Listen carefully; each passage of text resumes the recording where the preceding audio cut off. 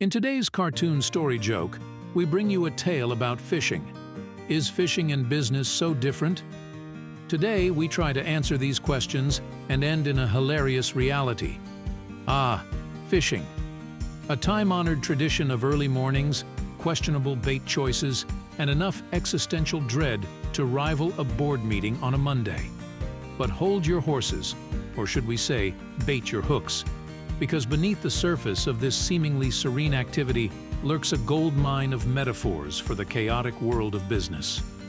That's right, folks, grab your metaphorical tackle boxes, because we're about to reel in some hilarious and surprisingly apt comparisons between fishing and the cutthroat game of getting ahead. The first lesson in fishing and business is that preparation is key, unless you like the taste of defeat. Let's face it, nobody enjoys staring at a motionless bobber for hours. You got to be prepared. You research the best spots, the kind of bait the finicky fish are craving, worms, minnows, maybe a tiny disco ball, and ensure your rod and reel can handle the fight. Because let's be honest, a business with a faulty printer during a presentation is about as effective as using a pool noodle for a fishing rod. Similarly, in business, failing to plan is planning to fail. Market research becomes your bait selection. A solid business plan is your trusty fishing rod, and a well-equipped team, your tackle box.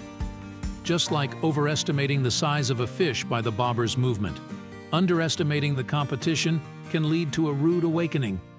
Be prepared, people, or you might just end up with a mouthful of metaphorical minnow and a bruised ego.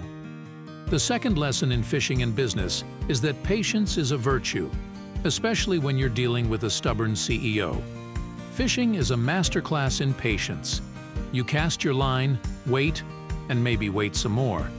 Fight the urge to check your social media every two seconds, and then, bam, a tug. But even then, it might be a pesky catfish or a rogue sandal, not the prize-winning marlin you envisioned. Business is no different. Building a successful company takes time, perseverance, and the ability to weather storms, both literal and metaphorical. Looking at you, Karen from accounting. Don't expect overnight success, and don't get discouraged if that big client you've been chasing throws you back like a used bait fish. Keep casting your line, refine your approach, and eventually, you'll reel in the rewards. The third lesson is to embrace the unexpected, because Murphy's Law applies everywhere. Just when you think you've got the perfect cast, a rogue squirrel snatches your hat, because apparently squirrels are jerks. Or a flock of geese decides your bobber is a worthy opponent in a synchronized swimming competition. Fishing is a constant exercise in adaptability. You got to roll with the punches, improvise new bait presentation methods, duct-taped hat as lure, anyone, and laugh at the absurdity of it all. The business world is a masterclass in the unexpected. Clients change their minds faster than a fish changes direction.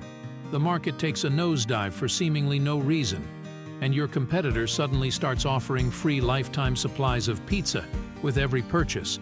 Seriously, who even does that? The key is to stay flexible, think on your feet, and maybe invest in some squirrel-proof headwear. The fourth lesson is that teamwork makes the dream work, unless your teammate keeps stealing your worms. Let's be honest, wrangling a giant tuna is a two-person job, unless you're Popeye with superhuman spinach-fueled strength.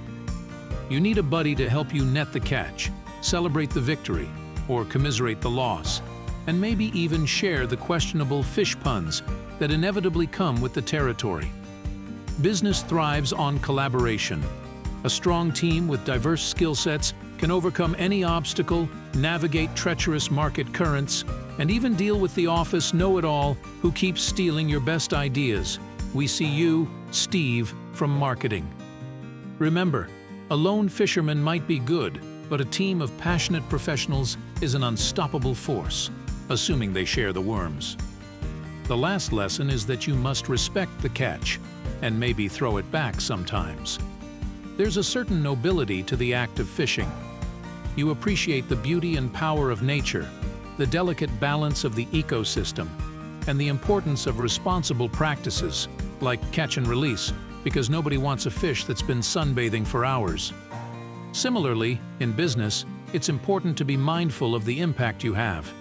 Sustainable practices, ethical treatment of employees and clients, and a focus on giving back to the community are all crucial aspects of long-term success. After all, a company that pillages resources and leaves nothing but destruction in its wake won't last much longer than a bait shop during a zombie apocalypse. All right, all right, let's skip to the best part, the joke. A successful businessman on vacation was at the pier of a small coastal village when a small boat with just one fisherman docked. Inside the small boat were several large yellowfin tunas. The businessman complimented the fisherman on the quality of his fish and asked how long it took to catch them. The fisherman proudly replied, Every morning, I go out in my boat for 30 minutes to fish. I'm the best fisherman in the village. The businessman, perplexed, then asks the fisherman, If you're the best, why don't you stay out longer and catch more fish? What do you do the rest of the day? The fisherman replied, I sleep late, fish a little, play with my children, spend quality time with my wife, and every evening we stroll into the village to drink wine and play guitar with our friends. I have a full and happy life. The businessman scoffed, I am a successful CEO and have a talent for spotting business opportunities. I can help you be more successful. You should spend more time fishing and, with the proceeds, buy a bigger boat. With the proceeds from the bigger boat, you could buy several boats. Eventually, you would have a fleet of fishing boats with many fishermen. Instead of selling your catch to just your friends, you can scale fishing to thousands. You could leave this small coastal fishing village and move to the big city, where you can oversee your growing empire. The fisherman asked, But how long will this all take? To which the businessman replied, 15 to 20 years. But what then? asked the fisherman. The businessman laughed and said, That's the best part. When the time is right, you would announce an IPO, sell your company stock to the public and become very rich. You would make millions. Millions. Then what? The businessman said, Then you would retire, move to a small coastal fishing village where you would sleep late, fish a little, play with your kids, spend time with your wife, stroll to the village in the evenings where you could sip wine and play your guitar with your friends. The fisherman replied, I have all of this, right now. if you liked our joke, then please watch our next joke by clicking here.